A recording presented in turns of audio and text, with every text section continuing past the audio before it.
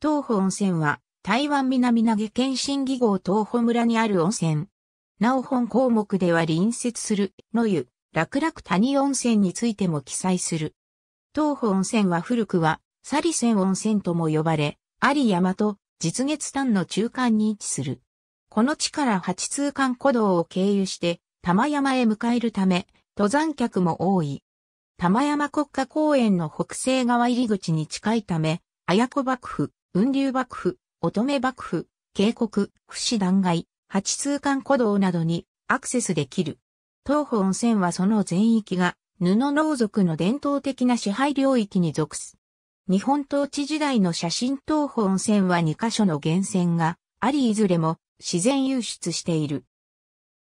水温は摂氏49度と摂氏66度、pH は約7.5。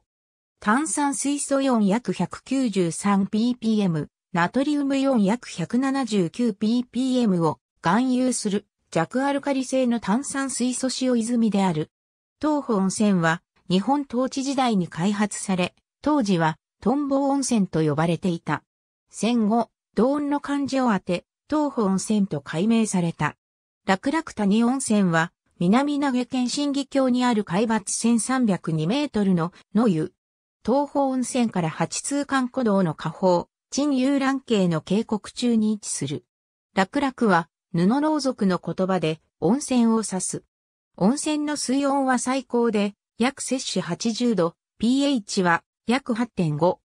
炭酸水素イオン約 248ppm、ナトリウムイオン約 29.2ppm を含有する弱アルカリ性の炭酸水素塩泉である。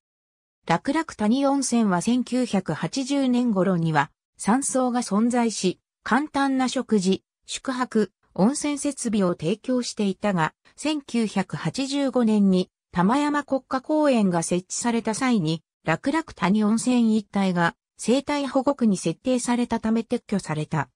AB 総清栄2007 P139 鈴木博士大2007 P94 から 95AB 鎮柏厚市2015 P113 台湾の温泉地一覧。